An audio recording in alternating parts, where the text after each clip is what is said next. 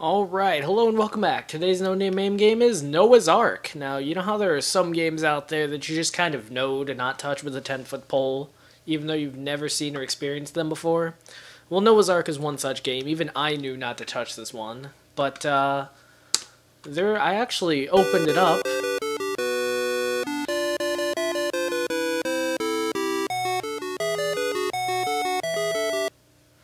that was a little bit jarring, but uh, it kind of reminds me of like uh, the old school Super Nintendo RPGs. So I kind of like that. Okay, now look at the Ark. Now keep keep looking at the right side of the Ark. Okay, come on. Oh, oh, there it is. There's a unicorn in this game.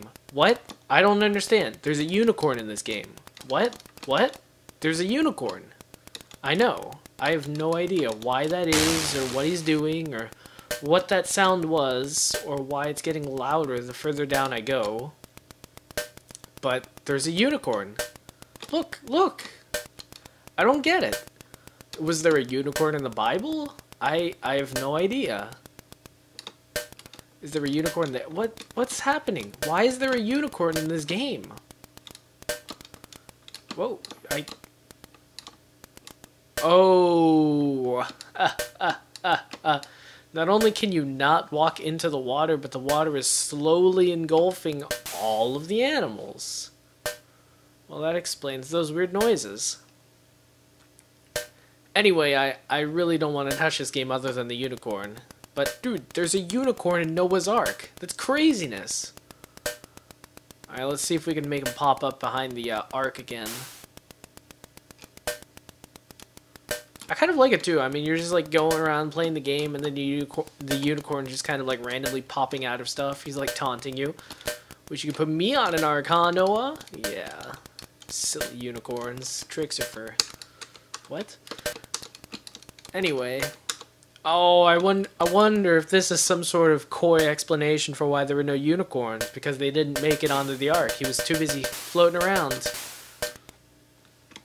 So things are sounding like they're getting pretty exciting down there. Let's check things out at the waterfront. Very exciting. Well, oh, I wonder if you can get stuck behind stuff. Let's see.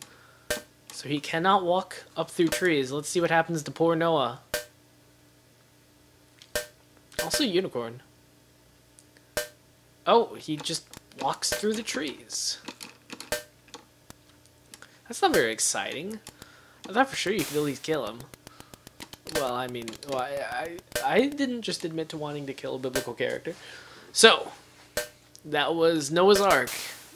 And somewhat unnotable, except the frigging unicorn baby. Oh, there are lives. It just takes forever to kill one.